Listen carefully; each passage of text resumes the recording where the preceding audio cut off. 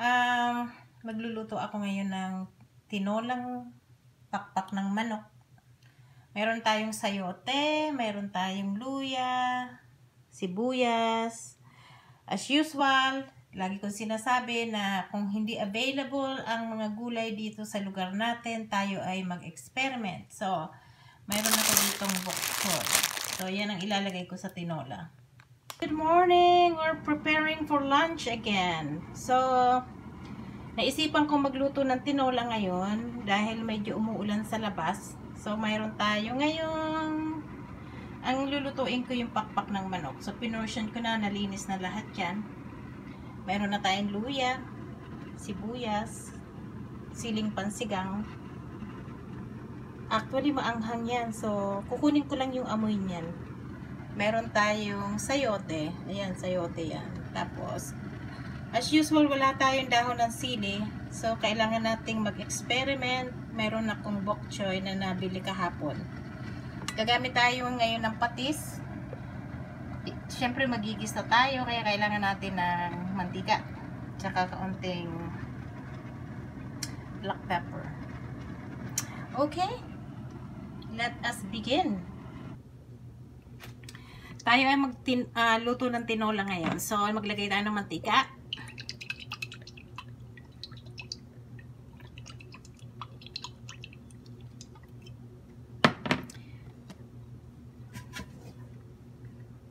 Make sure na na-coat yung inyong kawali or ano man ang pinaglulutuan nyo. Ilagay nyo na mismo yung luya.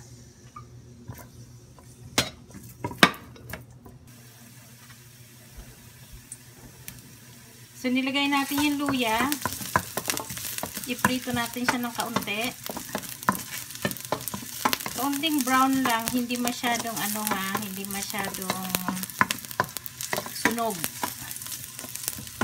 So, pwede na siya. Lagay ko na yung sibuyas.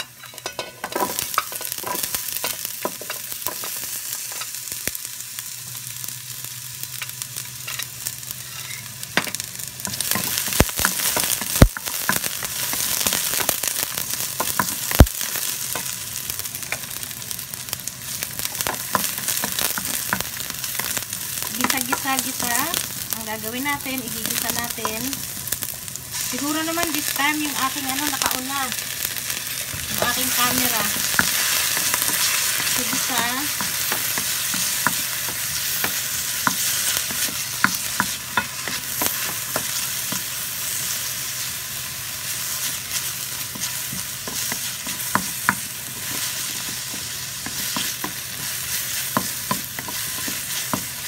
Lagay na natin yung ating chicken.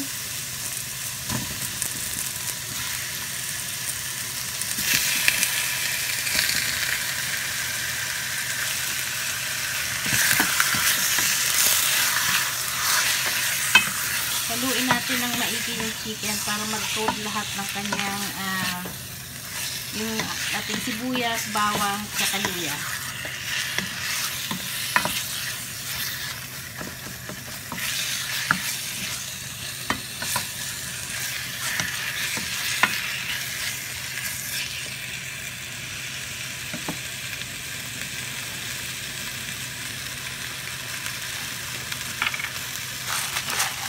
Lagyan na natin siya ng kaunting paminta. Kaunti lang.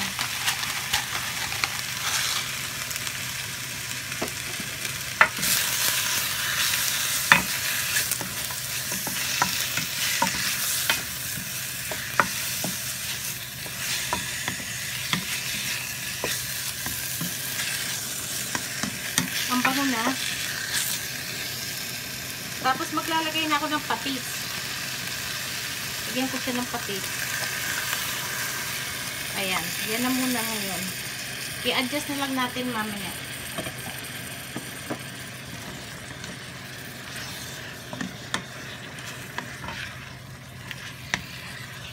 Haluin natin ng kaunti.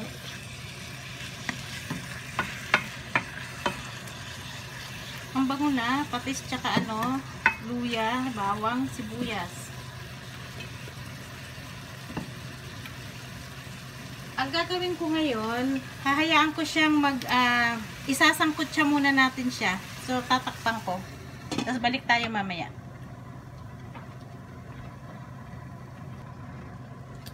Okay, i-check natin yung ating sinasangkot siyang manok sa sibuyas, bawang luya at kaunting uh, patis. Ang bangunan niya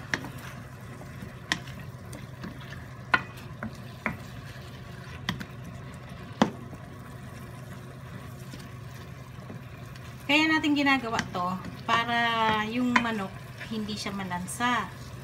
So, kailangan nating i-induce yung amoy ng luya sa ating manok. Tapos, mayroon siyang uh, kaunting patis.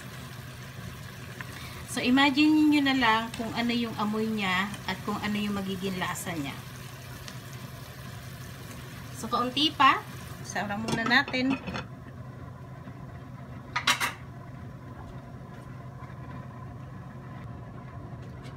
i-check natin ang ating sinasangkot sang um, pakpak ng manok.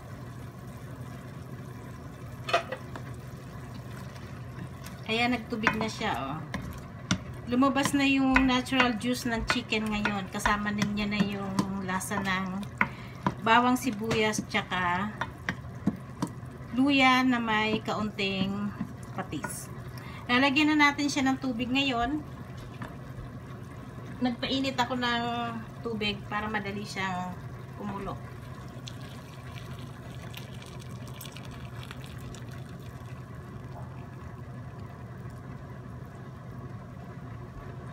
So, ganyan kadami yung tubig.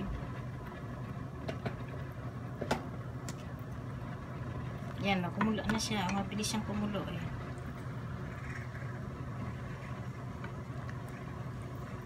Pakukuluan natin siya para lumabas yung mga kanyang impurities sa kanyang um, meat. Tapos i-scrape natin. Kasi hindi natin siya pwedeng hugasan katulad ng pagluluto ko ng tinaw, uh, sinigang. So, takpan uli natin at babalikan natin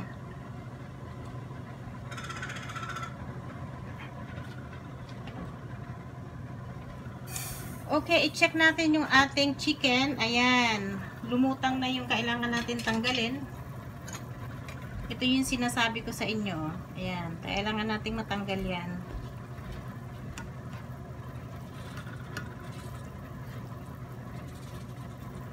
Tanggalin natin yung maruming yan. Ilalagay natin dyan. Kasi pag hindi natin tinanggal yan, yung ating uh, broth ng ating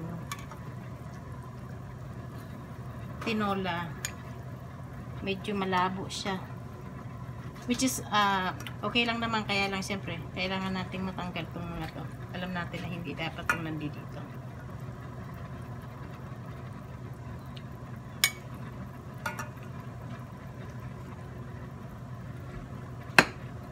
ayan o oh.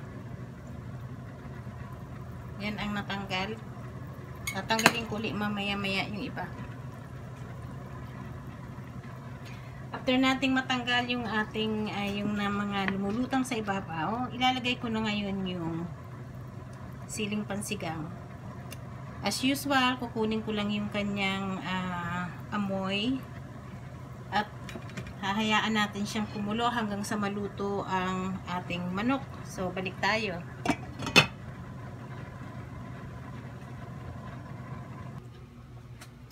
I-check natin ang ating chicken. Ayan. Ang ganda niya na.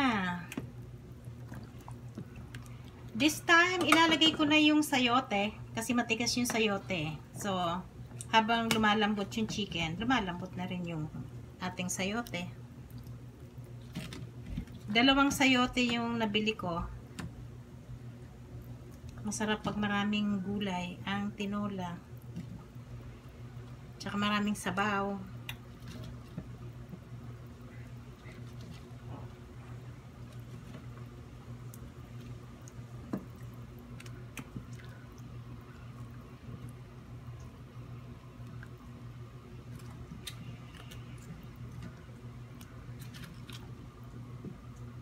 Okay, palambutin, palambutin natin ang ating uh, sayote. Tsaka, of course, kailangan maluto ang ating chicken.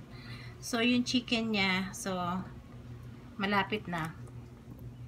So, tutuloy natin ang pagluluto. Balik tayo mamaya.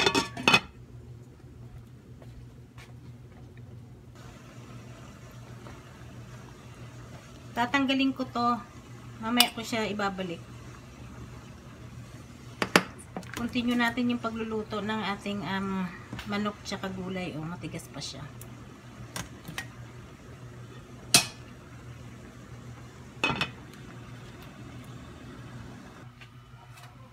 Check natin ang ating gulay kung lumambot na ba.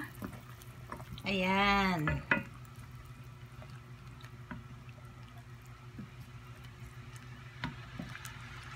Yung bok choy, lagi siyang may parang yung uh, matigas. So, ilalagay ko na rin siya. Yung white part ng bok choy.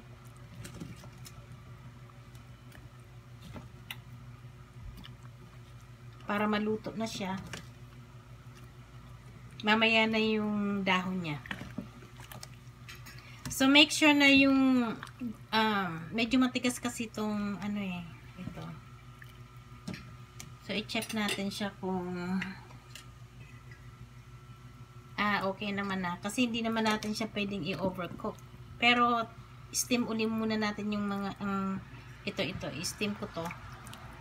Lutuin ko ng kaunti.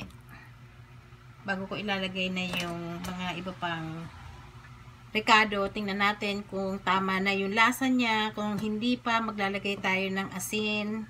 Kanina naglagay ako ng, ano, ah, uh, patis. Balik tayo ha.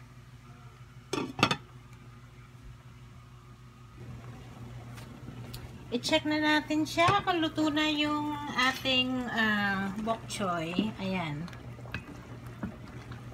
Magtimpla tayo. Timplahan na natin kung tama ba na yung lasa ng ating tinola. Tikman ko.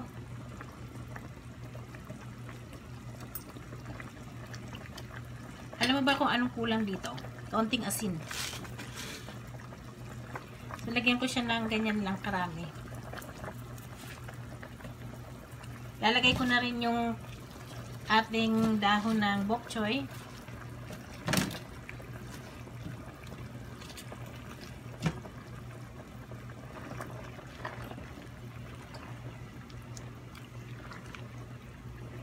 Yung chicken natin malambot na. Yung ating um, sayote malambot na rin. So, as usual, hindi natin i-overcook ang ating uh, bok choy. Kailangan medyo maganda ang kulay niya. Nilagay ko na rin yung ating siling pansigang sa ibabaw. So, ito ang aming lunch. I hope you guys um, able to share my uh, recipe. Uh, I'll put all the ingredients in the description below. So please uh, watch, share, and subscribe. Thank you so much. Bye!